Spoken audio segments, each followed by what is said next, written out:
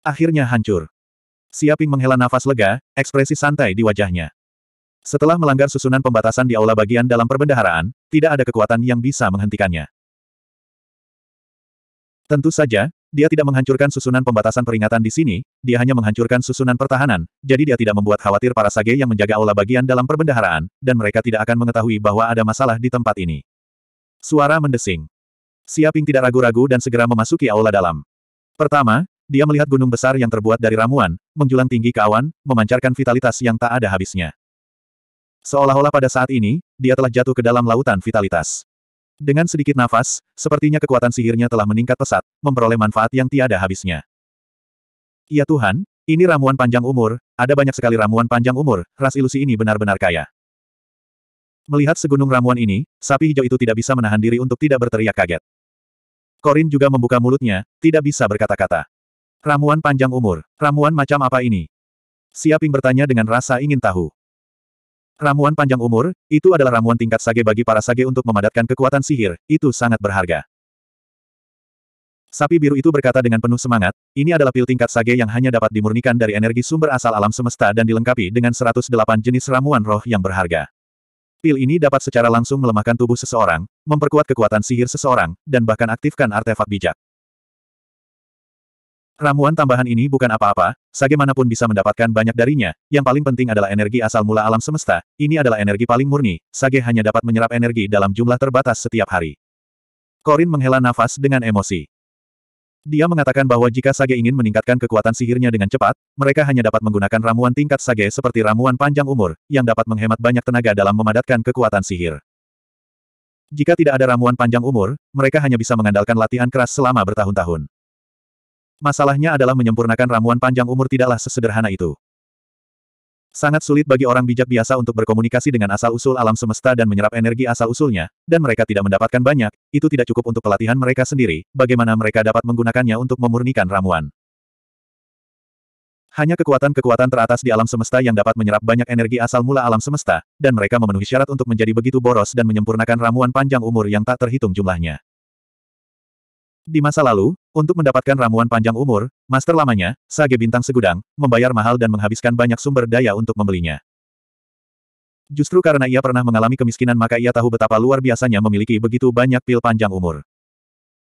Orang bijak abadi paling banyak akan mendapatkan beberapa lusin atau seratus pil umur panjang bahkan jika mereka bekerja keras sampai ke tulang. Terlebih lagi, mereka harus hidup berhemat, menjalani kehidupan yang bahkan tidak mampu memenuhi kebutuhan hidup. Tapi saat ini, pil panjang umur ini diletakkan di hadapannya seperti gunung besar. Setidaknya ada puluhan miliar, dan jumlahnya sangat besar. Seberapa kaya dan mewahnya ini? Dibandingkan dengan suku ilusi, tuan lamanya lebih buruk dari seorang pengemis. Sekarang mereka benar-benar mengerti apa artinya menjadi orang kaya baru, dan apa artinya menjadi sekaya suatu bangsa. Tidak mengherankan jika ras ilusi memiliki begitu banyak orang suci. Dengan begitu banyak pil panjang umur, mereka secara alami dapat menyia-nyiakannya sesuka hati dan mengembangkan aliran ahli yang tiada habisnya. Sapi hijau itu hanya bisa menghela nafas. Ini karena ramuan panjang umur tidak hanya sangat bermanfaat bagi para Saint, namun bahkan lebih bermanfaat bagi manusia. Hanya satu ramuan panjang umur saja sudah cukup untuk menggantikan upaya ribuan tahun dalam memadatkan energi spiritual. Tentu saja, pil panjang umur juga sangat penting bagi para sage, sehingga mereka tidak akan dengan mudah memberikannya begitu saja. Meski begitu, dengan ramuan panjang umur yang begitu besar, itu sudah cukup bagi mereka untuk mengembangkan banyak orang jenius dari ras ilusi. Bahkan budidaya para sage akan melonjak karena ramuan panjang umur ini, melampaui para sage dari ras lain. Bagaimana ras ilusi melakukannya? Bagaimana mereka bisa membuat begitu banyak ramuan panjang umur? Siaping bertanya. Itu mungkin karena ras ilusi memiliki artefak suci yang tiada taranya, mutiara kabut.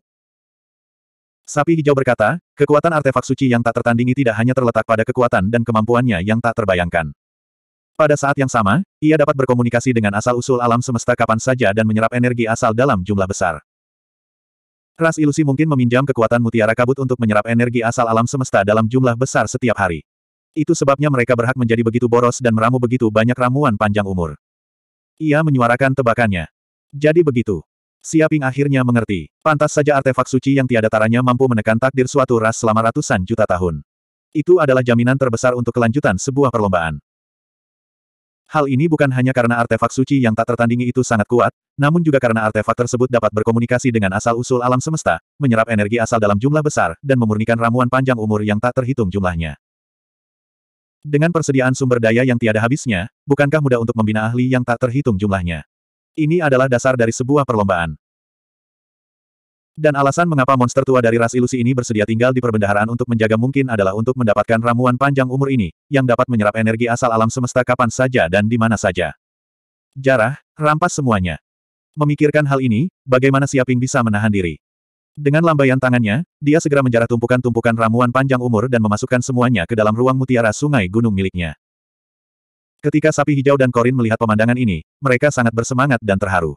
Itu layak untuk bertahan lama dalam perlombaan ilusi. Sekarang adalah waktunya panen. Mereka juga bertanya-tanya apa yang akan dipikirkan oleh para orang suci dari ras ilusi jika mereka mengetahui hal ini. Jika kekayaan sebesar itu hilang, mereka mungkin akan menjadi gila. Sepuluh menit kemudian, ramuan panjang umur ini semuanya dijarah oleh Siaping. Lihat, ada ruang lain di depan. Ada banyak material langka dari ras ilusi ditempatkan di sana. Batu butir suara seharusnya ada di sana. Ayo kita ambil semuanya. Teriak Korin. Dia juga membantu menjarah harta karun di mana-mana. Dengan suara mendesing, sosok Siaping berkedip dan segera datang ke tempat lain di aula dalam. Benar saja, banyak sekali material langka yang ditempatkan di tempat ini, termasuk Sound Grain Stone. Dan batu butir suara ini juga ditumpuk seperti gunung, setidaknya 10 ton. Entah di mana para orang suci dari ras ilusi ini menemukan mereka, tapi ini adalah kekayaan yang tak terukur. Karena bahan langka tingkat kosmik ini tidak dapat dibeli bahkan dengan uang, para orang suci tidak akan mengeluarkan bahan langka ini untuk dijual. Mereka hanya akan menukarkannya atau menggunakannya untuk diri mereka sendiri. Ya Tuhan, Tuan, lihat, ini adalah permata tingkat kosmik yang mengandung kekuatan yang tak terbayangkan. Batu kehidupan, batu jiwa, batu dewa petir, batu surgawi, batu benda dewa, batu penenang laut. Gila, ras ilusi benar-benar gila. Di mana apakah mereka menemukan begitu banyak permata tingkat kosmik? Sapi hijau itu tidak bisa menahan diri untuk tidak berteriak. Karena permata tingkat kosmik ini, bahkan para orang suci kuno pun mungkin tidak dapat memperolehnya.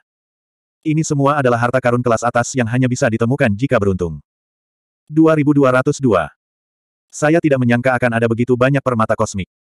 Melihat permata di atas, mata Siaping tiba-tiba berbinar.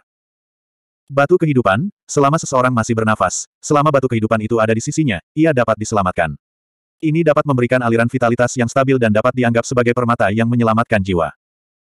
Soul Stone, ini adalah permata yang dapat melahap energi jiwa dan menyimpan energi jiwa.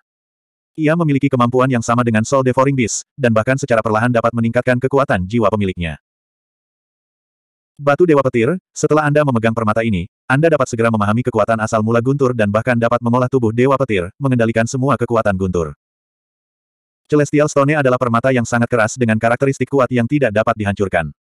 Sangat cocok untuk disempurnakan menjadi senjata sihir pertahanan yang dapat mengisolasi serangan ganda kekuatan sihir dan jiwa. Adapun batu ilahi, itu adalah permata spasial yang berisi dunia spasial khusus di dalamnya. Banyak senjata ajaib di tanah suci di tanah surgawi didasarkan pada batu ilahi. Ada juga si Calming Stone, dengan permata ini Anda bisa berjalan di lautan seolah-olah berjalan di tanah datar, menjadi penguasa lautan, dan meredam segala badai lautan. Hal ini sangat kuat. Dapat dikatakan bahwa permata ini adalah permata kosmik yang sangat berharga dan istimewa yang hanya lahir dalam kondisi dan keadaan khusus tertentu. Jumlahnya sangat jarang. Jika Golden Slime memakan salah satu permata yang disebutkan di atas, ia dapat berevolusi menjadi Golden Slime khusus. Lendir. Pada saat ini, Golden Slime juga merasakan aura permata kosmik ini dan dengan bersemangat terbang keluar dari tubuh Siaping, menerkam tumpukan permata. Dengan beberapa gigitan, ia langsung menelan permata kosmik tersebut. Tunggu. Melihat hal tersebut, Azure Ox panik dan langsung ingin menghentikannya, namun sudah terlambat. Hanya dalam satu detik, Golden Slime melahap permata kosmik ini dengan bersih. Huh, Sungguh sampah yang sembrono, sungguh sampah yang sembrono. Ia benar-benar memakan semuanya. Permata apa pun bisa dimurnikan menjadi alat suci yang kuat, tapi sekarang semuanya hilang. Korin juga memukuli dadanya, merasa sangat menyesal. Permata kosmik ini pada dasarnya adalah salah satu bahan utama untuk memurnikan alat suci. Seringkali dengan mengandalkan kemampuan khusus dari permata kosmik ini, semua jenis alat suci yang kuat dapat dimurnikan. Tapi sekarang, semuanya dimakan oleh Golden Slime. Bukankah ini merupakan pemborosan yang sembrono? Lupakan saja, biarkan Xiao Jin memakannya, dia akan memiliki berbagai macam kemampuan. Siaping tersenyum tipis dan tidak keberatan sama sekali. Dia tahu tentang kemampuan ilahi bawaan Golden Slime, tidak ada yang tidak bisa ditelannya. Selama dia menelan permata kosmik ini, dia akan bisa mendapatkan kemampuan yang sesuai. Bukan hal yang buruk untuk dimakan oleh Golden Slime. Tiba-tiba, setelah menelan permata kosmik tersebut, tubuh Golden Slime mengalami perubahan besar. Permata itu menyatu ke dalam tubuhnya seolah-olah telah menjadi bagian darinya. Boom gelombang-gelombang. Dalam sekejap, Golden Slime berubah menjadi pedang emas besar. Lima hingga enam permata khusus muncul di gagang pedang, memancarkan cahaya warna-warni. Itu sangat mewah dan mewah. Dengan sekali melihat, orang dapat mengetahui bahwa ini adalah pedang harta karun yang tak ternilai harganya, jenis yang bernilai bagi kota. Lendir. Golden Slime sepertinya sangat bersemangat. Setelah melahap permata kosmik ini, ia merasakan kekuatannya terus meningkat. Di saat yang sama, tubuhnya juga dipenuhi dengan banyak kemampuan yang kuat. Setelah benar-benar melahap kekuatan permata ini, ia akan mampu maju ke artefak suci kelas menengah. Pada saat yang sama, ia juga dapat memiliki kekuatan khusus dari permata ini. Kembali. Siaping melambaikan tangannya dan berkata pada Slime Emas. Lendir. Dengan suara deras, Golden Slime kembali ke sisi Siaping dan berubah menjadi gelang, melingkari pergelangan tangannya. Pada saat yang sama, gelang tersebut telah mengalami perubahan besar. Itu tidak lagi biasa, tetapi ada enam permata yang terukir di atasnya. Siaping melihat sekelilingnya. Selain permata kosmik ini, ada banyak bahan kerajinan lainnya juga. Meski tidak seberharga permata kosmik, mereka tetap merupakan bahan langka yang bisa digunakan untuk membuat senjata suci. Tanpa menahan diri, Lin Fan menjarah semuanya hingga bersih. Selain bahan kerajinan ini, dia juga menemukan tempat untuk menyimpan obat roh. Tempat ini sepertinya adalah surga bagi obat-obatan roh, dengan sejumlah besar obat sage ditanam di dalamnya. Tidak mungkin, kan? Tak disangka akan ada begitu banyak obat sage. Siaping tercengang, tidak bisa mempercayai matanya. Itu karena total ada 800 batang obat sage yang ditanam di dalam bidang pengobatan roh ini. Setiap batang pengobatan sage setidaknya berusia 10 juta tahun, dan dipenuhi dengan roh yang kuat. Bahkan ketika mereka melihat Siaping datang, obat sage ini sepertinya tidak tahu harus berbuat apa, dan menularkan emosi panik. Ini karena mereka belum pernah melihat Siaping sebelumnya. Jelas sekali bahwa roh mereka sangat tinggi, dan mereka akan memiliki jiwa dan kecerdasan mereka sendiri. Satu demi satu batang obat sage memancarkan ki obat yang tak ada habisnya. Seolah-olah selama seseorang tinggal di lingkungan ini, mereka akan kebal terhadap segala penyakit, umur mereka akan diperpanjang, dan budidaya mereka akan terus diperkuat. Selain obat sage yang telah diambil oleh sage, ini bisa dianggap sebagai seluruh inventaris ras ilusi. Ya Tuhan, ada begitu banyak obat sage. Dari mana para sage dari ras ilusi ini menjarahnya? Guru, gali semuanya. Gali semua obat sage ini, jangan biarkan satu pun hilang. Sapi hijau itu begitu bersemangat hingga dia tidak bisa berkata-kata. Dia merasa bahwa tempat ini hanyalah surga, karena obat sage tidak hanya menakjubkan, tetapi jenisnya juga banyak. Jika ada alkemis yang menyaksikan adegan ini, mereka mungkin akan pingsan karena kegembiraan. Ah, orang jahat, orang jahat telah masuk. Kita akan dimakan, kita akan dimakan, lari. Tolong, tolong, ada orang jahat datang untuk memakan kita. Batang-batang herbal suci berteriak dengan keras, kehilangan akal karena takut dan melarikan diri. Sayangnya tempat ini tidak besar, sehingga mereka hanya bisa melarikan diri ke segala arah seperti lalat tanpa kepala, pada akhirnya tidak dapat melarikan diri. Jangan lari, kalian semua masuk. Siaping tersenyum dan meraih dengan tangannya. Seketika, sebuah tangan besar menutupi langit dan matahari menyelimuti seluruh ruangan. Semua ki langit dan bumi sepertinya berhenti pada saat ini. Ledakan. Tangan besar itu meraihnya dengan ringan, dan seketika, semua obat sage dan tanah di tanah tercabut.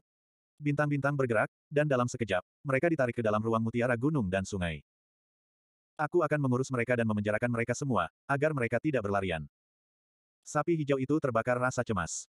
Dia tidak ingin tinggal di perbendaharaan lebih lama lagi, dan segera pergi mengambil obat sage ini, agar tidak berkeliaran di ruang mutiara gunung dan sungai. Sayang sekali saya tidak mendapatkan alat sage apa pun. Siaping melihat sekeliling, tetapi tidak melihat alat sage apa pun. Mungkin karena bencana pemusnahan, untuk menghadapi para sage manusia yang menyerang, para sage dari ras ilusi telah mengeluarkan semua peralatan sage. Lagi pula, saat ini, satu alat sage lagi berarti satu kekuatan tempur lagi. Mereka tidak akan menyia-nyiakan peralatan sage mereka di tempat ini, jadi mereka harus memanfaatkannya sebaik mungkin. 2203. Apakah tidak ada harta karun lagi? Sepuluh menit kemudian, Siaping merasakan seluruh perbendaharaan dan menemukan bahwa semua harta di tempat ini telah dijarah olehnya. Tidak ada satupun harta karun yang tersisa. Saat dia hendak mengambil kesempatan untuk melarikan diri, dia tiba-tiba merasakan sesuatu. Mata neraka gagak emas sepertinya merasakan sesuatu. Hem, tunggu, ada ruang misterius lain di sini. Dia secara naluriah merasakan bahwa ruang di depannya terdistorsi dan dipenuhi energi spasial yang padat. Seolah-olah waktu dan ruang telah terlipat menjadi satu. Tempat apa ini? Siaping menyipitkan matanya dan berjalan menuju ke dalaman perbendaharaan. Dia tiba-tiba menemukan ada ruang independen di depannya, yang juga merupakan inti dari perbendaharaan. Bahkan ada formasi pembatas padat yang dipasang di ruang ini. Satu demi satu, rantai pembatas menutup ruang ini. Kedap udara, seolah-olah mereka sedang menghadapi musuh besar. Kita harus tahu bahwa perbendaharaan ini dijaga oleh para suci primordial, namun ruang misterius ini masih dijaga dengan sangat ketat. Bisa dibayangkan betapa pentingnya tempat ini. Bahkan para orang suci primordial sangat mementingkan tempat ini. Mata neraka gagak emas.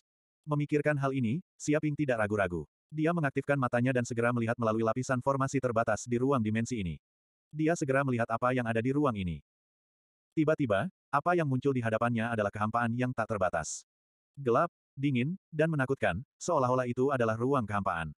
Tidak ada apa-apa, dan dipenuhi aura mematikan. Dan bukan berarti tidak ada apa pun dalam kehampaan yang gelap ini. Ada peti mati hitam besar yang melayang di udara. Permukaan peti mati hitam itu ditutupi dengan tanda berwarna darah yang padat dan bengkok. Seolah-olah kitab suci tertinggi telah terukir di kedalaman peti mati. Rantai ketertiban yang tebal mengunci seluruh peti mati, membuatnya tidak bisa ditembus dan sangat kokoh. Seolah-olah hal-hal ini menekan hal yang paling menakutkan di dunia ini, seperti kotak Pandora. Setelah dilepaskan, itu akan menjadi bencana besar dan akhir dunia. Sangat menakutkan. Benda apa ini? Jantung Siaping berdetak kencang. Rasa ilahinya meresap ke dalam peti mati, mencoba merasakan situasi spesifik dari peti mati hitam itu. Tapi sebelum Divine Sense-nya bisa mendekat, aura yang dalam, menakutkan, dan dingin menyebar dari dalam peti mati. Aura ini seperti roh jahat, langsung menelan rasa ilahi miliknya. Apa? Segera, Siaping terguncang. Dia merasa seolah-olah dia telah terjerat oleh roh jahat dari neraka, dan sepotong daging digigit dari tubuhnya. Bahkan ada kekuatan misterius dan dalam yang merobek udara, merusak kehampaan dan menembus lapisan ruang. Bahkan ruang waktu yang tak ada habisnya tidak dapat menghalanginya karena ia langsung memasuki kedalaman lautan kesadarannya. Terkutuk, terkutuk, terkutuk. Dalam sekejap mata, suara menakutkan datang dari lubuk jiwa Siaping, bergetar maju mundur. Seolah-olah makhluk menakutkan dari dasar neraka sedang mempersembahkan korban dan mengutuknya. Kekuatan ini lebih gelap dari sembilan dunia bawah, lebih menakutkan dari neraka, lebih ganas dari laut darah, dan lebih dalam dari lubang hitam. Tampaknya itu adalah kekuatan kegelapan paling mendasar yang dapat merusak segalanya. Gemuruh gelombang-gelombang. Gelombang demi gelombang kekuatan kutukan meresap ke dalam anggota badan dan tulang Siaping. Seolah-olah mereka memiliki kehidupan sendiri, mereka berubah menjadi cacing hitam yang bersembunyi di setiap sel di tubuhnya. Kebencian, kebencian, dan energi gelap yang kuat menutupi seluruh tubuhnya. Samar-samar, tubuhnya mengeluarkan bau busuk, seolah-olah itu adalah lima penurunan surgawi. Bahkan tubuhnya yang abadi tidak dapat menahan hal ini, sel-sel yang tak terhitung jumlahnya dengan cepat menua dan mati seperti ini, memakan kekuatan hidup yang tak ada habisnya. Mencari kematian. Cahaya dingin muncul di mata Siaping. Dia bisa merasakan betapa mengerikannya kekuatan kutukan ini. Ini tidak lagi sesederhana kemampuan ilahi. Itu adalah sesuatu yang dekat dengan hukum alam semesta. Orang suci abadi yang biasa tidak dapat menolaknya sama sekali. Begitu mereka bersentuhan dengannya, mereka pasti akan mati. Bahkan jiwa mereka akan dikutuk dan merosot total. Sayangnya, dia bukanlah orang suci abadi yang biasa. Api gagak emas neraka, bakar. Memikirkan hal ini, Siaping mengaktifkan garis keturunan Infernal Golden Crow di tubuhnya. Kekuatan garis keturunan yang kuat mulai menyala, dan seluruh tubuhnya berubah menjadi bola api yang membakar, seperti matahari abadi. Aura kuno, gelap, perkasa, kacau, mulia, dan tak terduga keluar dari tubuhnya, seolah-olah dia adalah Vingot menakutkan yang lahir dari kekacauan. Ini adalah nyala api yang datang dari dasar neraka, melambangkan kematian, kehidupan, enam jalan, dan reinkarnasi. Tidak ada apa pun yang tidak dapat terbakar, dan tidak akan padam bahkan setelah miliaran tahun. Semuanya akan hancur. Hulala gelombang. Dalam sekejap mata, nyala api membakar setiap sudut tubuh Siaping. Aura kutukan yang mencoba merusak sel-sel di tubuhnya langsung mendesis. Seolah-olah telah bertemu musuh bebuyutannya, aura kutukan dengan cepat mundur seperti air pasang surut. Samar-samar, dari kedalaman kehampaan, terdengar lolongan setan yang menyedihkan, memohon ampun, melolong, dan melolong. Namun bagaimanapun juga, aura kutukan itu langsung terbakar menjadi abu, berubah menjadi gumpalan asap hitam yang menghilang dari alam semesta. Bang bang bang. Setelah rangsangan dan tekanan hidup dan mati, Siaping bisa merasakan sel-sel infernal Golden Crow di tubuhnya bangkit dengan kecepatan yang gila. 10 juta, 20 juta, 30 juta, 50 juta, dan pada akhirnya, 100 juta sel infernal Golden Crow terbangun. Dia bisa merasakan kekuatan sihir dan kekuatan di tubuhnya meningkat sedikit. Sistem, benda apa ini? Siaping bertanya dengan sedikit keterkejutan di matanya. Setelah maju ke alam sempiternal, semakin sedikit hal yang dapat mengancam hidupnya. Dia praktis tidak akan mati sekarang. Tapi barusan, dia hanya melakukan sedikit kontak dengannya. Dia bahkan belum mendekatinya, tapi dia sudah terbunuh oleh gumpalan aura kutukan yang berasal dari peti mati hitam itu. Jika bukan karena fakta bahwa dia memiliki garis keturunan Infernal Golden Crow, dia pasti sudah lama dikutuk sampai mati dan jatuh ke dalam jurang tak berujung. Agar hal mengerikan seperti itu bisa ditekan di bagian terdalam dari perbendaharaan suku ilusi dan dijaga oleh lebih dari selusin sage yang kuat, orang bisa membayangkan betapa menakutkannya hal ini. Mungkin ada sage primordial yang menekan tempat ini bukan karena harta karun lain di perbendaharaan Ola dalam tetapi karena peti mati hitam ini. Dia merasa hal ini sungguh luar biasa. Itu sangat menakutkan dan memiliki kekuatan untuk menghancurkan dunia. Ini adalah harta karun yang dikenal sebagai peti mati hitam terkutuklah. Sistem menjawab, ia berisi kekuatan paling jahat dan gelap di alam semesta. Ia memiliki kebencian dan kedengkian yang tak ada habisnya. Ia adalah benda yang sangat jahat dan dapat dikatakan sebagai sumber segala kejahatan. Setelah peti mati hitam ini dibuka, aura kutukan yang tak ada habisnya akan melonjak dan merusak alam semesta, menyebabkan wilayah bintang yang tak terhitung jumlahnya jatuh ke tanah kematian. Itu tidak akan pernah hilang dan tidak dapat dimurnikan. Ini bahkan lebih menakutkan daripada invasi jurang maut. 2204. Sumber segala kejahatan. Mata Siaping dipenuhi rasa kagum. Sebuah gambaran muncul di benaknya. Ketika peti mati hitam terkutuklah terbuka, kebencian dan kutukan yang tak ada habisnya menyembur keluar, mengubah seluruh wilayah bintang menjadi kegelapan tanpa batas. Semua matahari, bulan, dan bintang membusuk dan berubah menjadi planet gelap. Seluruh daratan berubah menjadi tanah iblis dan rawa beracun. Semua makhluk hidup dikutuk dan diubah menjadi zombie dan setan, seperti orang mati berjalan. Bahkan iblis dari neraka dan iblis dari jurang maut tidak dapat menahan kekuatan seperti itu. Inilah kuasa kematian, yang membawa kematian dan kegelapan. Ini adalah akhir dari hari kiamat. Di mana Sage dari suku ilusi menemukan benda ini? Siaping kagum. Dia merasa bahwa peti mati hitam terkutuklah adalah kartu truf sebenarnya dari suku ilusi. Setelah kekuatan peti mati hitam terkutuklah dilepaskan, kekuatan itu tidak terbayangkan. Bahkan seorang sage pun akan mati total. Tidak ada cara untuk menahannya. Tentu saja, kekuatan peti mati hitam terkutuklah tidak membedakan antara kawan dan lawan. Setelah digunakan, bahkan suku ilusi pun akan mendapat masalah. Oleh karena itu, suku ilusi tidak akan bergerak. Namun, jika dihadapkan pada ancaman kepunahan, suku ilusi tidak punya pilihan selain memanfaatkannya dan binasa bersama musuh. Saya tidak menyangka suku ilusi memiliki kartu truf seperti itu. Untungnya, saya menemukannya. Tiba-tiba, Siaping merasa beruntung. Jika kekuatan peti mati hitam terkutuklah dilepaskan selama perang, siapa yang tahu berapa banyak manusia sage yang akan terbunuh. Sekalipun serangan itu tidak membunuh semua sage manusia, serangan itu tetap akan menyebabkan banyak korban jiwa bagi umat manusia.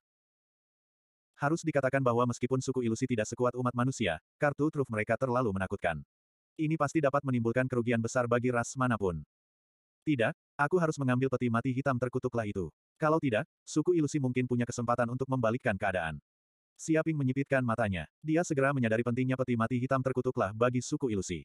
Jika hal seperti itu digunakan pada saat kritis, sungguh luar biasa. Jika dia mengambil peti mati hitam terkutuklah, itu sama saja dengan memotong salah satu anggota suku ilusi. Itu setara dengan negara-negara di bumi pada kehidupan sebelumnya yang tidak memiliki bom nuklir. Mereka tidak lagi menjadi ancaman. Namun, tidak mudah untuk mengambil peti mati hitam terkutuklah itu. Lagi pula, jika dia terlalu dekat, kekuatan kutukan yang mengerikan akan terpancar dan musuh akan dikutuk sampai mati. Jika dia terlalu dekat, dia mungkin tidak akan mampu menahannya dengan garis keturunan Infernal Golden Crow miliknya.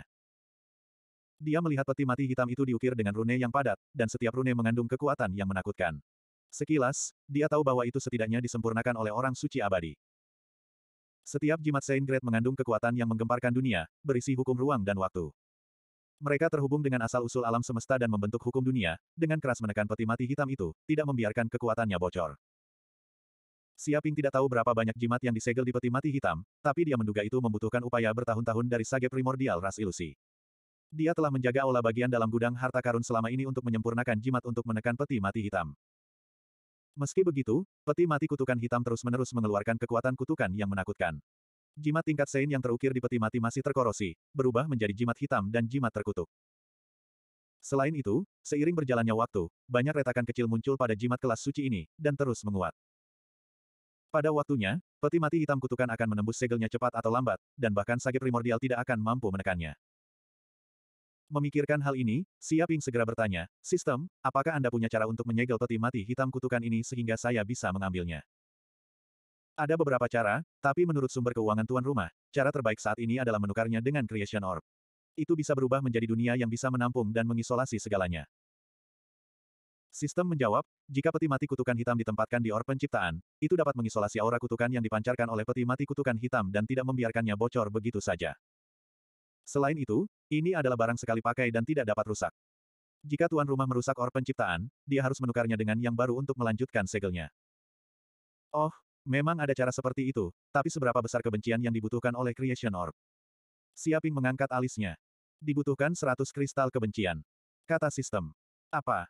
Sudut mulut Siaping bergerak-gerak. Seratus kristal kebencian, lelucon yang luar biasa. Dia telah bekerja sangat keras untuk menyinggung entah berapa banyak orang, tetapi sulit untuk mendapatkan seratus kristal kebencian. Sekarang, hanya sebuah or penciptaan, dan itu adalah item sekali pakai, membutuhkan seratus kristal kebencian. Harga ini terlalu berlebihan. Apakah tidak ada jalan lain? Misalnya sesuatu yang bisa menyelesaikan masalah ini secara permanen. Siaping bertanya, tidak mau menyerah. Iya, selama tuan rumah dapat sepenuhnya menyempurnakan peti mati hitam kutukan ini dan memahami inti dari hukum kutukan, masalah ini dapat diselesaikan secara permanen, dan kekuatan peti mati hitam kutukan tidak akan bocor lagi. Sistem berkata, tetapi kekuatan tuan rumah terlalu lemah sekarang, dan tidak ada cara untuk mengendalikan harta ajaib bawaan seperti itu. Begitu Anda mencoba memperbaikinya, hanya kematian yang menunggu. Jiwa Anda akan terkikis oleh kekuatan kutukan dan benar-benar layu. Kalau begitu, lupakan saja. Tukarkan dengan or penciptaan. Siaping berkata tanpa daya. Dia tidak tahu berapa lama waktu yang dibutuhkan agar kekuatannya tumbuh hingga dia bisa menyempurnakan peti mati hitam kutukan. Meskipun seratus kristal kebencian itu banyak, namun layak untuk mendapatkan peti mati hitam kutukan ini. Iya, tuan rumah, sesuai keinginanmu. Sistem menjawab. Boom gelombang-gelombang. Detik berikutnya, bola putih seukuran kepalan tangan muncul di depan Siaping. Hem, ini adalah or penciptaan. Jantung Siaping berdetak kencang, dan dia segera merasakan hubungan mental dengan bola cahaya putih ini. Bola cahaya putih ini tampak seperti dunia yang lengkap, dengan hukum dunia yang lengkap. Itu sangat kokoh, dan bisa mengisolasi semua aura dan kekuatan. Namun, sepertinya tidak ada apa pun di dunia ini. Itu kosong, seperti sangkar besar. Dengan harta ajaib ini, tidak akan menjadi masalah untuk menyegel peti mati hitam kutukan. Pergi. Memikirkan hal ini, Siaping tidak ragu-ragu dan segera mematahkan formasi yang membatasi. Di bawah kendali pikirannya, Creation Orb of Legend memasuki ruang kosong ini dengan suara mendesing. Tampaknya tidak ada jebakan atau formasi pembatas yang melindungi ruang ini. Ini mungkin karena orang suci dari suku ilusi percaya bahwa tidak ada seorang pun yang bisa memasuki gudang harta karun. Bahkan jika mereka melakukannya, mereka akan mati jika mencoba mendekati peti mati hitam kutukan. Mereka akan terkikis oleh kekuatan kutukan sampai mereka mati. Peti mati kutukan hitam sendiri adalah pertahanan terkuat. Sayangnya, mereka tidak tahu bahwa Siaping memiliki harta rahasia seperti Creation Orb yang dapat menyegel Curse Black Coffin. Suara mendesing gelombang-gelombang. Dalam sekejap mata, or penciptaan mendekati peti mati hitam kutukan. Sebelum peti mati hitam kutukan bereaksi, bola cahaya menelannya sepenuhnya dan mengintegrasikannya ke dalam dunia batinnya. Boom gelombang-gelombang. Merasakan kekuatan ini, peti mati kutukan hitam segera meledak. Kekuatan kutukan gelap yang mengerikan meledak, mencoba menghancurkan or penciptaan. Sayangnya, sekeras apa pun ia berusaha, ia tidak dapat menembus penghalang absolut dari or penciptaan. 2205. Bang, bang, bang. Peti mati hitam terkutuklah, yang disegel dalam or penciptaan, meledak dengan aura hitam yang menakutkan. Isinya kegelapan, kutukan, kejahatan, kebencian, dan kekuatan lainnya. Itu berubah menjadi tangan raksasa dan menghantam dinding bagian dalam Creation Orb. Tiba-tiba, ribuan tangan yang menakutkan terbanting dengan keras, menimbulkan suara benturan. Mereka mencoba menghancurkan dan mengikis Creation Orb. Tangan hitam itu seperti tangan hantu, menakutkan orang. Jika benar-benar pecah, mereka mungkin akan meledak dengan kekuatan yang menakutkan dan membunuh makhluk yang tak terhitung jumlahnya. Sayangnya, kekuatan Creation Orb mengisolasi segalanya. Tidak peduli betapa menakutkannya peti mati hitam terkutuklah itu, ia tidak bisa keluar dan terjebak dalam Orb penciptaan. Suara mendesing. Detik berikutnya, Siaping segera mengambil kembali Creation Orb dan mendarat di tangannya. Seperti yang diharapkan, harta karun alam, peti mati hitam terkutuklah, telah disegel. Dia sangat puas. Setelah menyegel peti mati hitam terkutuklah, itu setara dengan memotong salah satu lengan ras ilusi. Dia telah kehilangan sebagian besar kartu truf mereka dan tidak lagi menjadi ancaman. Terlebih lagi, jika dia mendapatkan artefak Conate ini dan menyempurnakannya sepenuhnya, dia mungkin bisa mendapatkan energi dalam jumlah tak terbatas.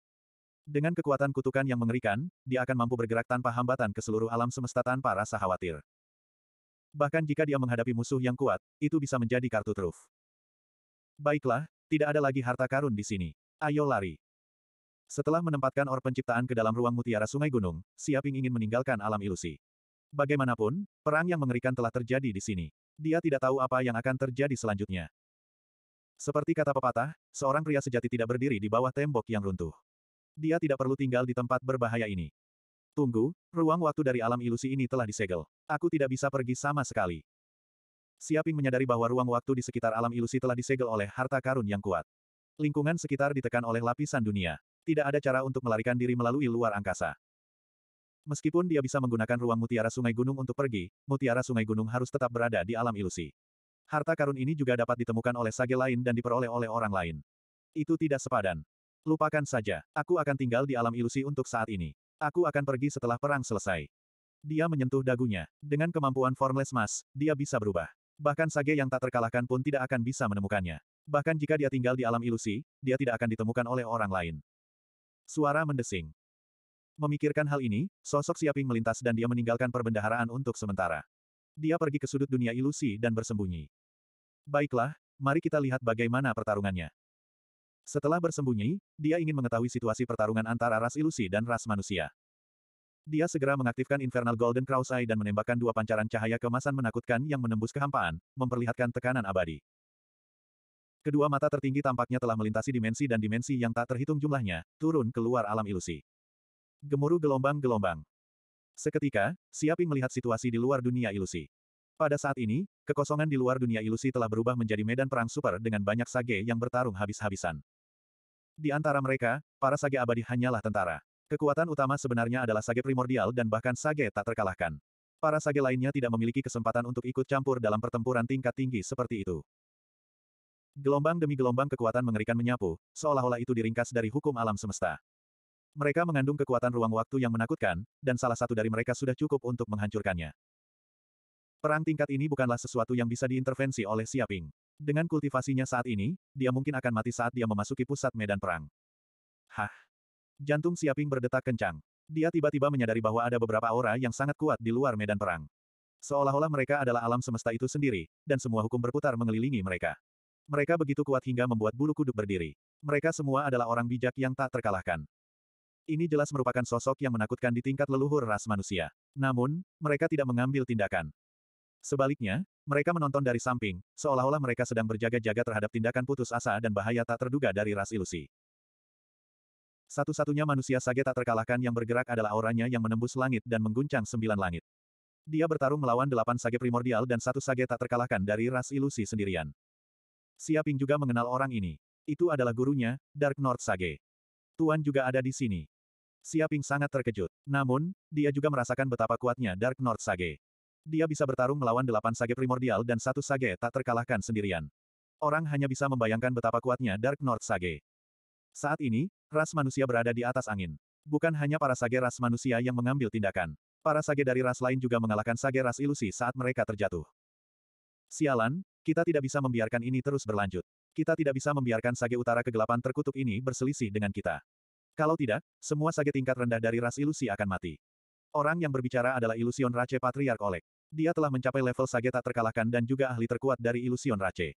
Dia adalah pilar sebenarnya dari perlombaan ini. Wajahnya sangat jelek. Dia bisa melihat bahwa Dark North Sage tidak menggunakan kekuatan penuhnya. Dia hanya bertarung dengan mereka. Tujuannya adalah untuk menahan ras ilusi yang terkuat. Dapat dikatakan bahwa Dark North Sage sudah cukup untuk menahan mereka. Seiring berjalannya waktu, para sage dari ras ilusi semuanya akan terbunuh. Bagaimanapun juga, ras manusia memiliki keunggulan absolut. Perlombaan ilusi sama sekali bukan tandingan mereka. Begitu para sage tingkat rendah itu terbunuh, dia akan benar-benar menjadi komandan pasukan. Belum lagi, masih ada beberapa kabut lama dari ras manusia yang mengawasi dari samping. Alasan mengapa mereka tidak mengambil tindakan adalah karena mereka berjaga-jaga terhadap tindakan putus asa dari ras ilusi. Mereka mungkin akan menggunakan gerakan membunuh yang akan membunuh mereka semua. Alasan lainnya mungkin untuk melatih Dark North Sage. Memikirkan hal ini membuat Oleg semakin marah. Dia adalah patriark dari ras ilusi, seorang sage tak terkalahkan yang berdiri di puncak alam semesta. Tapi sekarang, dia dijadikan sasaran percobaan. Itu sungguh keterlaluan. Patriark, apa yang harus kita lakukan? Delapan orang bijak lainnya bertanya. Lawan dia, gunakan seluruh kekuatanmu dan lukai dia dalam sekejap. Lalu gunakan harta karun sage yang tak tertandingi, mutiara laut kabut, untuk melarikan diri. Kita tidak bisa melawannya secara langsung. Patriark ras ilusi Olek sangat tenang. Dia tahu bahwa sage pada level ini sangat sulit untuk dibunuh. Belum lagi, ada beberapa kabut lama dari ras manusia yang mengawasi dari samping. Bagaimana dia bisa membunuh Dark North Sage? Jadi satu-satunya jalan keluar bagi perlombaan ilusi adalah melarikan diri. Jika mereka terus bertarung, mereka semua akan mati. Ya, Patriark. Delapan orang bijak dari ras ilusi memiliki tatapan mematikan di mata mereka. Mereka bisa merasakan tekad Olek untuk bertarung sampai mati. Tidak ada jalan lain. 2206. Hah, Olek, bestar tua itu, sepertinya mempertaruhkan nyawanya. Di kejauhan, guru leluhur Xiao Yao sepertinya merasakan sesuatu dan menatap Olek dan orang suci lainnya dari ras ilusi. Mempertaruhkan nyawanya. Saya khawatir orang tua ini sedang berakting. Saya tidak tahu berapa kali dia berakting. Dia tampak seperti mempertaruhkan nyawanya, tapi sebenarnya dia mencoba melarikan diri. Kita harus berhati-hati terhadapnya. Guru leluhur yang kosong mencibir. Dia telah beberapa kali tertipu oleh akting realistis Olek. Olek adalah orang suci yang tak terkalahkan, tapi dia melarikan diri lebih cepat dari siapa pun. Dia sangat tidak tahu malu sehingga dia sama sekali tidak terlihat seperti orang suci yang tak terkalahkan. Memang benar, hingga saat ini, iblis neraka belum muncul. Apakah mereka menyerah pada perlombaan ilusi? Saya merasa ini tidak biasa. Apakah mereka menyerah pada perlombaan ilusi? Atau apakah mereka begitu yakin dengan kekuatan mereka sehingga mereka tidak khawatir ras ilusi akan musnah? Bidak catur seperti ilusion Rache tidak boleh ditinggalkan. Orang suci tingkat leluhur lainnya menyipitkan matanya. Ia merasa ini tidak biasa. Barang antik tua ini dijaga di samping untuk mencegah kartu truf ras ilusi dan iblis neraka menyerang dan mengepung mereka.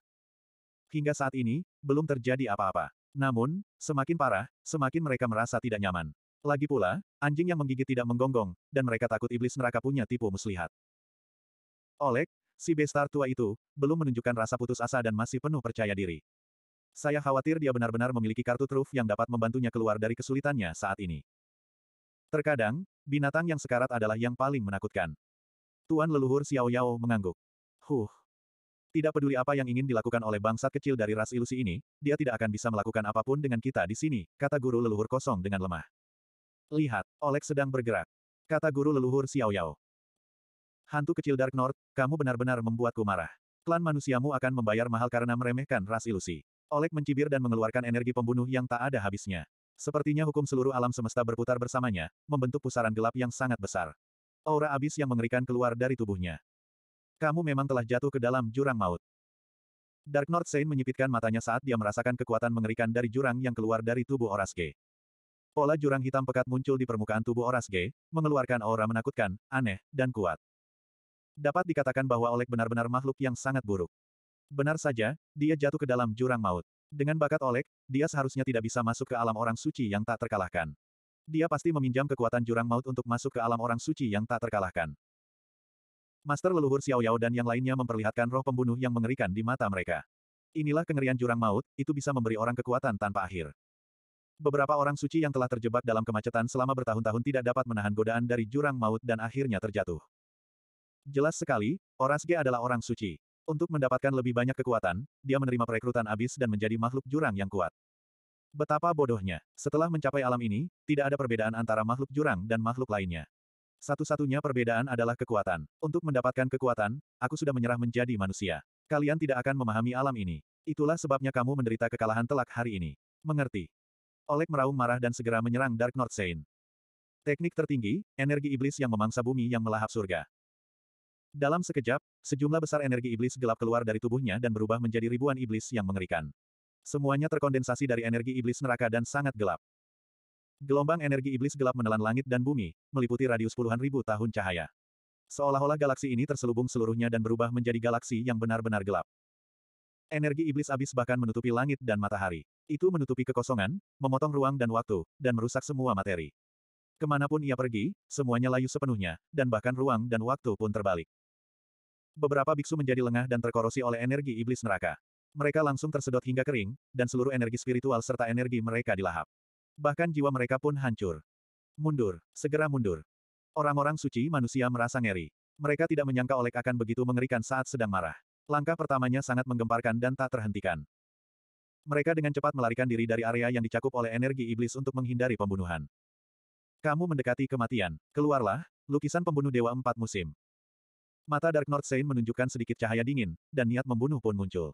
Dia sangat marah dan menggunakan seluruh kekuatannya. Swash swash swash swash. Dalam sekejap mata, dia melambai dengan tangannya, menyebabkan empat pedang terbang. Warnanya hijau, merah, kuning, dan putih. Mereka masing-masing mewakili empat musim yaitu musim semi, musim panas, musim gugur, dan musim dingin. Yang mengejutkan, semuanya adalah senjata Saint tingkat tertinggi. Ledakan. Keempat pedang itu turun dan terbelah menjadi empat sudut, membentuk matriks pedang tertinggi yang menutupi seluruh ruang. Seolah-olah ruang ini telah menjadi dunia pedang. Pada saat itu, ruang dan waktu seakan berhenti. Gelombang demi gelombang pedang ki yang menakutkan meledak. Seolah-olah hukum alam semesta yang tak ada habisnya telah dipadatkan, dan seperti arus deras yang kacau, ia menghancurkan segalanya. Bang bang bang. Dalam sekejap, banyak orang suci dari ras ilusi tidak dapat menahannya sama sekali. Mereka tertusuk pedang, dan tubuh mereka terkoyak seluruhnya. Pedang Ki yang mengerikan meledak, menghancurkan jiwa dan roh primordial mereka. Bahkan ada ratusan juta pedang ki yang tampaknya terkondensasi dari hukum yang merobek kehampaan, dengan mudah membunuh energi iblis jurang di sekitarnya. Setiap pedang dapat menghancurkan sebagian dari kekuatan. Bagaimana bisa begitu menakutkan? Mundur, segera mundur. Delapan orang suci kuno dari delapan ras ilusi merasa ngeri dan mundur. Mereka merasakan aliran deras yang tak tertandingi yang bahkan dapat menembus penghalang alam semesta. Setiap cahaya pedang mengandung maksud pedang mengejutkan yang dapat menembus semua materi. Dengan ledakan, mereka tertangkap basah. Salah satu lengan mereka dipotong dan dibuang. Sejumlah besar darah hitam mengalir keluar, dan sejumlah besar energi iblis neraka mengalir keluar. Jelas sekali, delapan orang suci kuno juga telah dirusak oleh jurang maut. Bocah Dark North terkutuk, kau benar-benar membuatku marah. Ini semua karena kalian manusia yang memaksaku. Aku, Oleg, pasti akan membuatmu membayar harga yang mahal. Aku tidak akan beristirahat sampai kamu mati, aku tidak akan beristirahat sampai kamu mati. Melihat situasi ini, beberapa orang suci dari ras ilusi dihancurkan hingga mati seperti serangga. Ada banyak sekali korban jiwa. Mata Oleg terbuka lebar. Dia tidak tahan lagi dan sangat marah. Meraj Miss Pearl, distorsikan alam semesta. Gabungkan ilusi dan kenyataan, satukan alam semesta. Dalam sekejap, Oleg berteriak dengan marah. Dia benar-benar menggunakan kekuatan artefak suci yang tiada taranya, Meraj Miss Pearl. Kekuatan misterius segera menyelimuti tubuhnya, menyebabkan tubuhnya menjadi tidak terlihat. Dia berubah menjadi kabut tak berbentuk dan tak berwarna. Dengan suara mendesing, dia melarikan diri dari tempat itu bersama delapan orang suci kuno yang terluka parah. 2207. Lolos. Ke mana mereka pergi? Orang suci Dark North menyipitkan matanya. Dia menemukan bahwa bahkan di bawah sampul lukisan pembunuh Dewa Empat Musim, dia masih tidak dapat menemukan jejak Olek dan yang lainnya seolah-olah mereka telah menghilang dari alam semesta ini tanpa suara. Jika Olek dan yang lainnya lolos, mereka akan membawa kerusakan yang tidak dapat diperbaiki pada klan manusia. Lagi pula, jika orang suci seperti itu menjadi gila dan membunuh manusia biasa di mana pun, mereka akan menjadi ancaman besar. Jangan khawatir, mereka tidak dapat melarikan diri. Di bawah penindasan menara sepuluh arah dunia, mereka tidak dapat melarikan diri ke mana pun mereka pergi. Guru leluhur Xiao Yao segera mengirimkan transmisi suara, memberitahu mereka untuk tidak khawatir. Di bawah penindasan menara sepuluh arah dunia, Olek dan yang lainnya tidak dapat melarikan diri. Karena itu, mereka bersiap terlebih dahulu dan tidak akan membiarkan situasi pelarian orang-orang dari ras ilusi terjadi lagi. Tapi ke mana Olek pergi? Dia tahu bahwa tempat ini ditekan dan seluruh ruang waktu dibekukan. Tidak mungkin dia bisa melarikan diri. Apakah dia akan meminta bala bantuan? Guru leluhur kekosongan menyipitkan matanya saat dia merasakan ancaman tak dikenal datang dari kedalaman kehampaan. Aku tidak yakin, tapi kita akan segera mengetahuinya. Aku sudah berkomunikasi dengan menara sepuluh arah dunia dan terus memindai. Sebentar lagi, kita akan menemukan jejak hantu tua itu. Dia bisa tidak melarikan diri. Guru leluhur Xiao Yao adalah pembunuh. Astaga, astaga. Dalam sekejap mata, Oleg dan orang suci lainnya dari ras ilusi kembali ke gudang harta karun alam ilusi dengan kekuatan artefak suci Meraj Misperl yang tiada taraf. Terengah-engah dan berkeringat deras, mereka terluka parah. Tidak sulit membayangkan betapa sengitnya pertempuran itu. Jika Oleg tidak membantu, mereka akan dibunuh oleh Dark North Saint. Dapat dikatakan bahwa mereka tidak memiliki kekuatan untuk melawan klan manusia. Tuan leluhur, apakah kamu benar-benar akan melepaskan benda itu? Melihat Oleg kembali ke gudang harta karun, seorang suci kuno segera memahami niat tuan leluhurnya. Alasan mengapa dia kembali ke tempat ini mungkin untuk melepaskan peti mati hitam terkutuklah. Para sage lainnya merinding di sekujur tubuh mereka dan gemetar tak terkendali. Peti mati hitam terkutuklah adalah harta rahasia mengerikan yang diperoleh suku ilusi dari zona terlarang gelap di alam semesta pusat. Itu sangat menakutkan dan aneh, dan kekuatan kutukan yang dikandungnya adalah sesuatu yang bahkan para sage tidak dapat menahannya. Saat itu, untuk menyegel dan menekan peti mati hitam terkutuklah ini, ras ilusi mereka menderita kerugian besar. Tak terhitung banyaknya orang yang telah meninggal, dan bahkan beberapa biksu telah terjatuh karenanya. Ini adalah senjata terlarang. Alasan klan ilusi jatuh ke dalam jurang maut dan dirusak oleh jurang maut adalah karena peti mati hitam terkutuklah ini. Saat itu, dia terkena kutukan peti mati hitam terkutuklah, hidupnya tergantung pada seutas benang. Dia akan mati total, dan seluruh kekuatan hidupnya akan padam. Untuk bertahan hidup, Orasko tidak punya pilihan selain menerima kondisi abis. Dia menyingkirkan semua kekuatan kutukan di tubuhnya, membiarkan kekuatannya meningkat ke level lain. Hal ini menyebabkan seluruh ras ilusi dirusak oleh abis, mengubahnya menjadi makhluk abisal. Meski begitu, mereka masih sangat takut dengan peti mati hitam terkutuklah ini. Biasanya, mereka akan mengirim beberapa orang suci purba untuk menjaga tempat ini, takut kekuatan peti mati hitam terkutuklah akan meledak lagi dan menyebabkan seluruh ras ilusi mati dengan cara yang kejam. Itu benar. Jika peti mati hitam terkutuklah benar-benar dilepaskan, tidak ada yang akan mampu menahan kekuatan kutukan. Bahkan abis pun tidak akan berdaya melawan kekuatan ini. Ini akan menyebabkan kerusakan permanen. Tidak banyak dari alam ilusi yang akan mampu menahannya. Pergi, dan mereka akan dikutuk sepenuhnya. Seorang suci purba mau tidak mau menelan ludahnya. Dia sangat takut. Tidak ada cara lain. Itu semua karena manusia terkutuk itu sudah bertindak terlalu jauh. Mereka keluar dengan kekuatan penuh untuk menghancurkan ras ilusi kita. Tidak peduli apa pun, alam ilusi tidak akan mampu menahan mereka. Orasko mengertakkan gigi dan berkata, tapi tidak mudah bagi mereka untuk menghancurkan ras ilusi. Kali ini, aku akan melepaskan peti mati hitam terkutuklah dan membuat para bajingan itu membayar harga yang mahal. Aku ingin melihat ekspresi apa yang akan dimiliki para bajingan dari ras manusia itu ketika mereka melihat peti mati hitam terkutuklah. Mungkin beberapa orang suci dari ras manusia yang tak terkalahkan akan jatuh karena hal ini. Lalu, akan ada pertunjukan bagus untuk ditonton. Nada suaranya seram, dan kebenciannya sangat besar.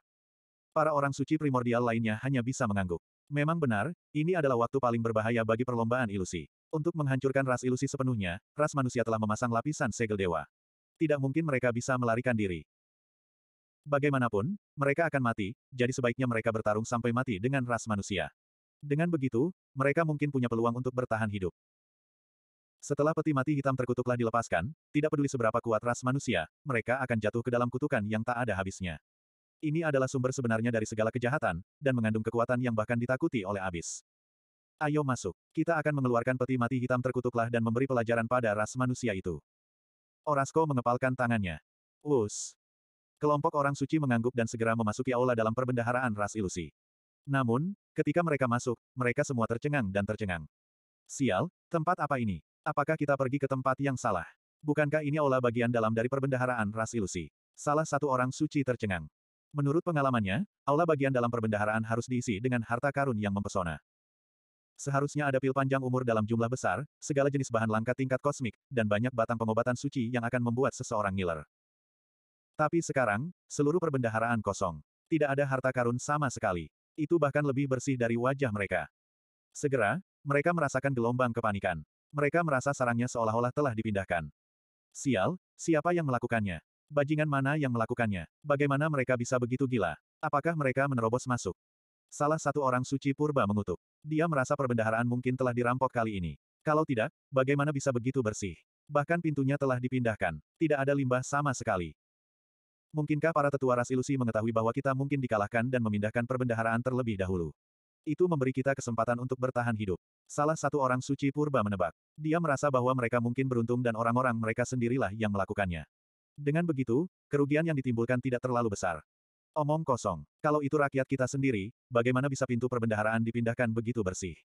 Tidak ada sedikit pun sampah yang tertinggal. Lihat taman pengobatan roh itu. Semua tanah telah digali hingga bersih. Tidak ada limbah sama sekali. Ini seperti pintu masuk yang rakus. Ditambah lagi, tanpa perintah kami, tetua mana yang bisa masuk? Pasti ada pencuri yang masuk. Jangan biarkan aku menemukannya atau dia pasti akan mati. Saya akan membunuh seluruh keluarganya dan mengeksekusi sembilan generasinya. Bajingan tak berperasaan ini tidak tahu malu. Orang suci primordial lainnya mengatupkan giginya dan sangat marah hingga dia memuntahkan darah. Harta karun ini diperoleh oleh para Saint dari ras ilusi setelah bertahun-tahun melakukan penipuan, pembakaran, pembunuhan, dan penjarahan. Tapi sekarang, Hal itu hilang dalam sekejap mata. Semua kekayaan mereka telah dipindahkan. Siapa yang tahan terhadap provokasi seperti itu? Mereka benar-benar menjadi tidak punya uang dalam sekejap dan bangkrut dalam semalam. 2208. Tunggu, di mana peti mati hitam terkutuklah? Apa terjadi sesuatu pada peti mati hitam terkutuklah? Salah satu orang suci purba tiba-tiba berkata. Begitu banyak harta yang hilang dan dirampas oleh pencuri itu. Dia khawatir sesuatu akan terjadi pada peti mati hitam terkutuklah juga. Namun ketika dia mengatakan ini, orang suci lainnya langsung tertawa. Tidak mungkin. Apa itu peti mati hitam terkutuklah? Itu adalah harta rahasia yang sama menakutkannya dengan sumber segala kejahatan. Kita membayar mahal untuk menyegelnya. Jika pencuri itu berani mencuri peti mati hitam terkutuklah, dia pasti akan mati ya kematian yang mengerikan. Dia sangat yakin dengan keamanan peti mati hitam terkutuklah karena tidak sesederhana harta karun. Di saat yang sama, itu adalah objek jahat yang sangat menakutkan. Sekali disentuh, bahkan para Saint pun akan mati. Selama bertahun-tahun, mereka telah membayar mahal untuk menyegel benda jahat ini. Bahkan para orang suci purba harus berhati-hati saat menjaganya. Mereka takut kekuatan peti mati hitam terkutuklah akan meledak.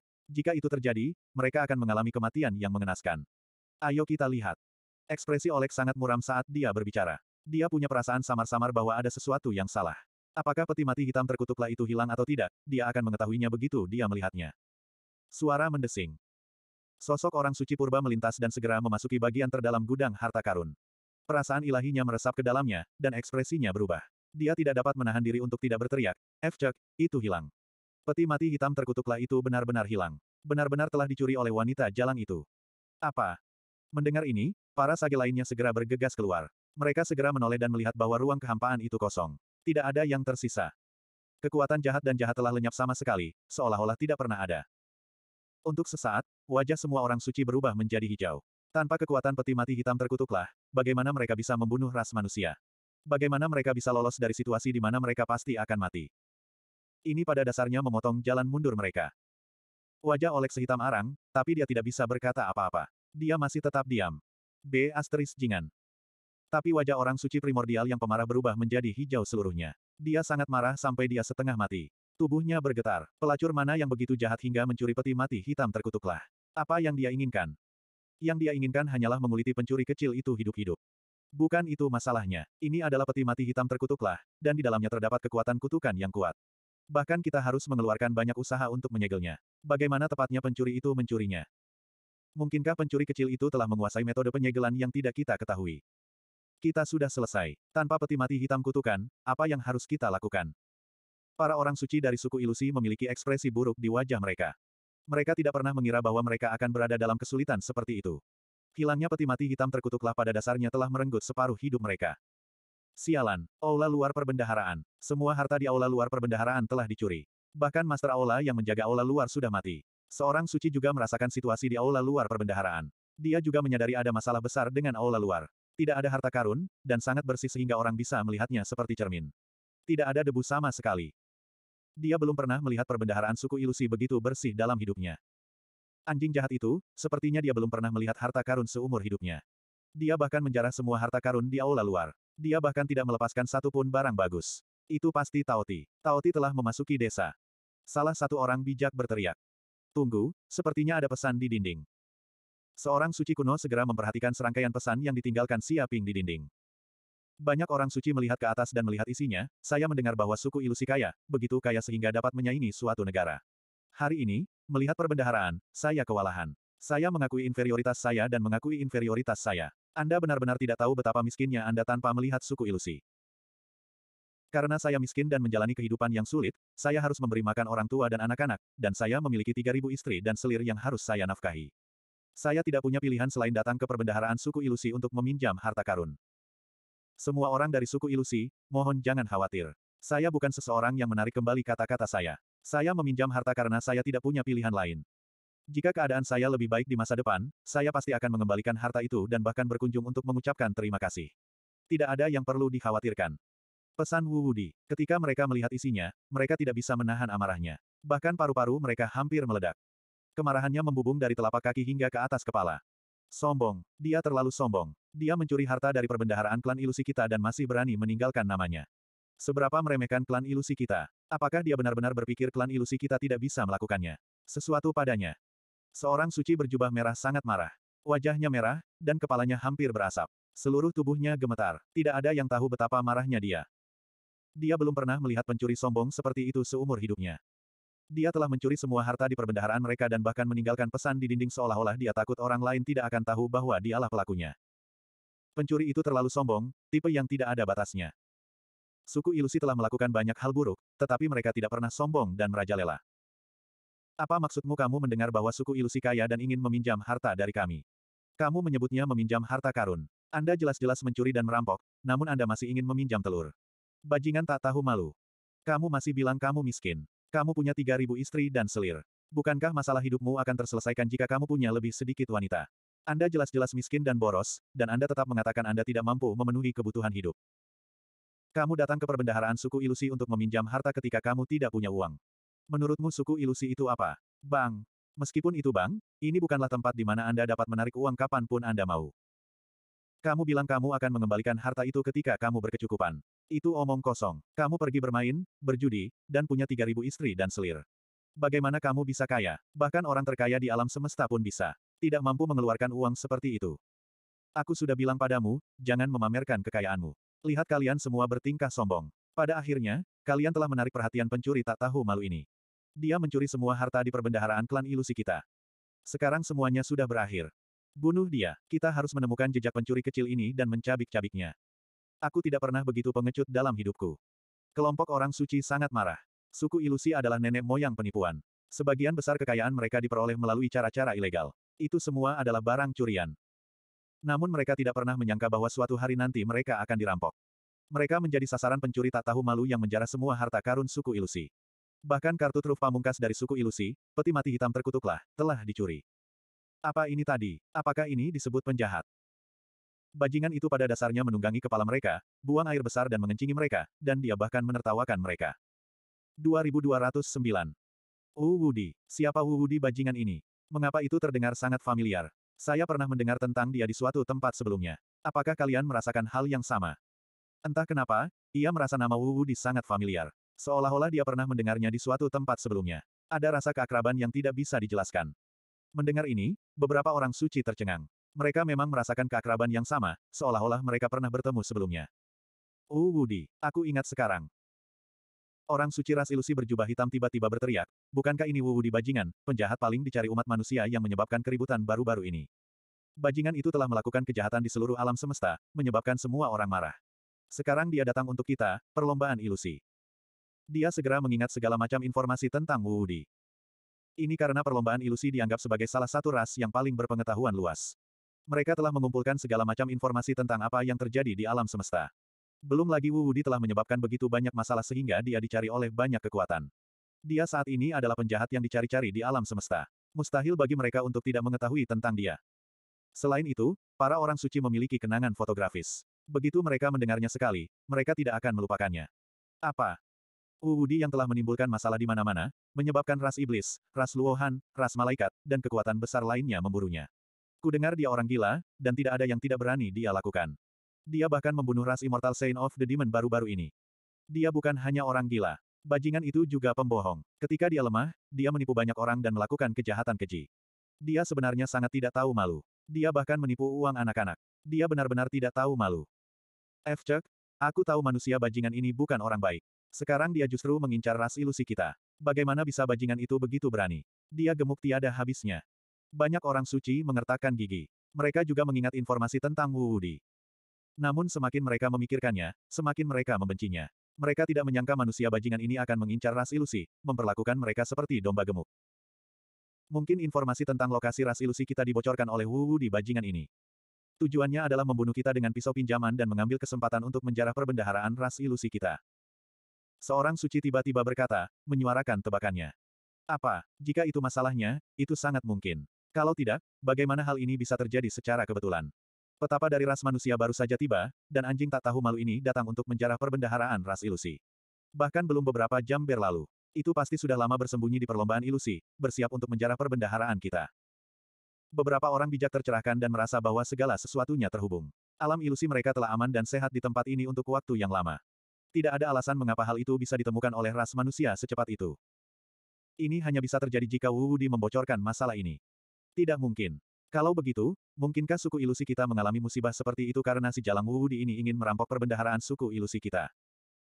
Ada kemungkinan 90% hal itu dilakukan oleh wanita jalang ini. Banyak sage dari ras ilusi yang sangat marah hingga wajah mereka berubah menjadi hijau. Mereka merasa sudah mengetahui kebenaran masalah tersebut. Pelacur Wu Wudi itu telah mengkhianati informasi suku ilusi dan membunuh mereka dengan pisau pinjaman. Dia bersembunyi di kegelapan, mengambil kesempatan untuk menjarah harta karun suku ilusi. Ketika mereka mengira bencana suku ilusi mungkin disebabkan oleh Wu Wudi, mereka sangat marah hingga hampir meledak. Mereka hanya ingin menguliti Wu Wudi hidup-hidup dan mencabik-cabik tubuhnya. Tidak ada yang berani membodohi suku ilusi seperti ini. Wu Wudi, aku tidak akan pernah memaafkanmu. Jangan biarkan aku menemukanmu, atau kamu akan mati. Kamu akan mati bahkan jika kamu lari ke ujung bumi. Saat ini, Oleg tidak bisa lagi menahannya. Dia meraung dengan amarah yang tak terkendali. Dengan keras, tanah tempat dia berdiri segera terguncang menjadi lubang yang mengerikan. Retakan yang mengerikan muncul di mana-mana, dan seluruh aula bagian dalam perbendaharaan hampir terbalik. Ruang di sekitarnya hancur seperti kaca. Tidak ada yang lebih membenci Wu Wudi selain dia. Jika bukan karena ini, bagaimana suku ilusi bisa menghadapi bencana seperti itu? Bagaimana mereka bisa mengalami tragedi seperti itu? Semua ini salah Wu Wudi. Ledakan. Pada saat ini, aura kuat turun dari kedalaman kehampaan. Itu adalah guru leluhur Xiao Yao, guru leluhur Empyrean, orang suci Dark North, dan para sage manusia yang tak terkalahkan lainnya. Mereka menghabiskan waktu tertentu untuk menangkap aura Olek dan yang lainnya. Kemudian, mereka melewati kehampaan dan tiba. Kekuatan hukum yang mengerikan memenuhi sekeliling, menekan kekosongan. Olek, kamu benar-benar kembali ke perbendaharaan suku ilusi. Apakah kamu memiliki kartu truf yang belum kamu gunakan? Master leluhur Xiao Yao menyipitkan matanya seolah ingin mengetahui rahasia Olek. Apakah ini benar-benar perbendaharaan suku ilusi? Mengapa tidak ada satupun harta karun? Apakah kamu mengambil semuanya? Apakah kamu bergerak begitu cepat? Master leluhur Empyrean melihat sekeliling tetapi tidak menemukan satu pun harta karun. Ketika para sage dari suku ilusi mendengar ini, wajah mereka menjadi gelap. Diam, berhentilah bertindak di sini. Olek berteriak dengan marah, apakah ras manusia mengirim Wudi untuk menyelinap ke alam ilusi kita dan memanfaatkan pertempuran kita untuk menjarah semua harta ras ilusi? Kalian manusia sungguh hina dan tidak tahu malu. Bagaimana Anda bisa melakukan hal yang tidak tahu malu dan tidak bermoral? Apa-apaan? Apa hubungannya ini dengan Wudi? Kelompok manusia bijak sedikit bingung. Mereka tidak tahu apa yang dibicarakan Olek, tetapi mereka sangat cerdik dan tentu saja tidak mau mengungkapkan pikiran mereka. Guru leluhur Xiao Yao berpura-pura mendapat informasi yang baik dan berkata, itu benar. Semua ini diatur oleh kami manusia. Kami telah menemukan semua rahasiamu. Jika kamu tahu apa yang baik untukmu, segera menyerah. Jangan berjuang sebelum kematianmu. Dia menunjukkan bahwa dia telah mengatur semuanya sendiri. Bajingan, sebenarnya kalian manusia yang melakukan ini. Kalian mencuri kartu truf terbesar suku ilusi, peti mati hitam terkutuklah, jadi aku tidak bisa membunuh kalian semua. Mendengar ini, Oleg mempercayainya tanpa ragu. Dengan ekspresi muram, dia berkata, tetapi apakah menurutmu ini semua adalah kartu truf dan kekuatan suku ilusi kita? Jangan bercanda, kalian manusia 10 miliar tahun terlalu dini untuk menghancurkan suku ilusi kami. Dia mengeluarkan artefak suci yang tiada taranya, meraj Miss Pearl, dan menyuntikkan sumber energi yang mengerikan ke dalamnya. Fata Morgana, Alam semesta tanpa batas, segudang transformasi, kabut kacau, meledak untukku. Oleg berteriak dengan marah, dan kekuatan mengerikan meledak dari kedalaman Meraj Pearl. Sialan, dia ingin meledakkan artefak suci yang tak tertandingi, Meraj Miss Pearl. Segera mundur. Mata Empyrean Ancestral Master menunjukkan sedikit cahaya dingin. Para sage juga merasakan energi mengerikan di kedalaman Meraj Miss Pearl seolah-olah dunia sedang meledak. 2210 kita harus tahu bahwa artefak suci yang tiada taranya setara dengan dunia super yang utuh. Itu berisi hukum dunia yang sempurna dan menyerap energi asal alam semesta dalam jumlah tak terbatas. Jika artefak suci yang tiada taranya meledak, itu setara dengan ledakan super di dunia super. Kekuatan yang dihasilkan akan menghancurkan bumi dan cukup untuk menyapu ribuan wilayah bintang. Bahkan orang suci yang tak terkalahkan pun akan mati terbunuh oleh ledakan artefak suci yang tiada taranya jika mereka tidak berhati-hati. Manusia suci tidak menyangka Olek akan segila itu. Dia seperti seekor anjing yang terpojok dan melompati tembok dan ingin meledakkan artefak suci yang tiada taranya, mutiara kabut. Bagaimanapun, artefak suci yang tiada taranya sangatlah berharga. Itu cukup untuk menekan nasib suatu ras selama miliaran tahun. Alasan mengapa ras ilusi mampu bertahan selama miliaran tahun adalah karena mutiara kabut. Terlebih lagi, ledakan seperti itu tidak hanya akan membunuh para biksu manusia, namun juga akan membunuh para biksu dari ras ilusi. Bahkan orang-orang biasa dari ras ilusi akan mati dengan cara yang kejam. Ini seperti bagaimana tenaga nuklir tidak akan meledakkan bom nuklir di negaranya sendiri betapapun gilanya hal itu. Sekarang, Oleg ingin meledakkan Miss Pearl. Ini hanya bisa dikatakan gila. Suara mendesing. Namun leluhur Kong Kong tidak panik sama sekali. Dia melambaikan tangannya dan kekuatan ruang waktu yang tak terlihat menyelimuti tubuh semua orang suci manusia. Bintang-bintang bergerak dan menyatu dengan kehampaan. Dalam sekejap, semua manusia suci melarikan diri dari tempat mereka berada. Mereka melewati tingkat ruang asli yang tak terhitung jumlahnya dan tiba di luar ilusi. Gemuruh gelombang-gelombang-gelombang. Dalam sekejap, artefak suci yang tiada taranya, mutiara kabut, segera meledak. Dengan mutiara kabut sebagai pusatnya, gelombang energi dan gelombang mengerikan dihasilkan, menyapu sembilan langit dan sepuluh bumi. Dengan beberapa suara retakan, ruang di sekitarnya langsung pecah seperti kaca. Seluruh ilusi benar-benar meledak dan semua orang biasa dari ras ilusi mati dalam sekejap. Gelombang energi tirani langsung mengoyak ruang di sekitarnya. Artefak suci yang tak tertandingi, pagoda sepuluh arah dunia, yang awalnya tertutup rapat, tidak dapat menahan gelombang destruktif seperti itu. Retakan padat muncul di sepuluh dunia dalam sekejap dan semuanya meledak. Satu demi satu, hukum alam semesta runtuh sepenuhnya, dan ruang ini tidak dapat lagi menjaga stabilitasnya. Retakan ruang waktu yang mengerikan juga muncul di kedalaman kehampaan. Mereka sepertinya terhubung dengan kedalaman alam semesta. Samar-samar, badai kosmik yang mengerikan terjadi, mengubah tempat ini menjadi zona mati. Beberapa orang suci dari ras ilusi tidak dapat mengelak tepat waktu dan langsung hancur, berubah menjadi abu. Gila, Oleg benar-benar menjadi gila. Bukankah dia akan menghancurkan seluruh alam ilusi dengan melakukan ini? Hampir semua ras ilusi mati. Beberapa orang bijak tercengang. Mereka tidak mengira Oleg akan berbuat sedemikian rupa. Dia merasakan bahwa seluruh dunia ilusi baru saja dihancurkan oleh badai. Semuanya telah hancur, dan hampir berubah menjadi zona mati. Badai luar angkasa dan turbulensi spasial terjadi di mana-mana. Jika leluhur Kongkong tidak bertindak tepat waktu dan memindahkan semua orang suci, siapa yang tahu berapa banyak orang suci yang akan terbunuh atau terluka. Bisa dibayangkan betapa dahsyatnya kekuatan ledakan senjata suci tingkat tertinggi itu. Oleg memang sudah gila, tapi dia belum mati. Apa dia mengira bisa bertahan hidup dengan melarikan diri di saat-saat terakhir? Sungguh mimpi yang bodoh. Menara penyegel iblis, keluarlah dan tekan ruang dan waktu. Sambil mencibir, guru leluhur Xiao Yao mengeluarkan menara emas gelap yang besar. Boom gelombang-gelombang. Dalam sekejap, pagoda emas gelap itu segera melebar dan terbang keluar. Tanda emas gelap pekat muncul di tubuh pagoda. Setiap rune mengandung kekuatan hukum yang menakutkan, seolah-olah mewakili dunia. Kekuatan menara emas gelap yang besar ini melampaui segalanya. Bahkan senjata suci tingkat tertinggi, menara sepuluh arah dunia, tidak bisa menandinginya. Isinya aura suci yang melampaui segalanya. Tampaknya satu demi satu orang suci yang menakutkan dipenjarakan di menara. Ketika menara emas gelap yang besar ini muncul, waktu dan ruang dalam radius ratusan juta tahun cahaya ditekan. Pada saat ini, sepertinya waktu telah berhenti. Segala sesuatu di dunia ini diam, dan tidak ada yang bisa bergerak. Semua manusia suci merasa bahwa pikiran mereka pun tersegel, dan mereka tidak bisa bergerak sama sekali. Setelah menjadi orang suci, ini adalah pertama kalinya mereka merasa begitu tidak berdaya dan lemah. Tampaknya semua hukum alam semesta telah kehilangan efektivitasnya, dan hanya kekuatan tertinggi menara penyegel iblis yang tersisa di dunia. Ah! Seketika, jeritan melengking datang dari dalam kehampaan. Lebih dari selusin angka keluar dari celah ruang waktu.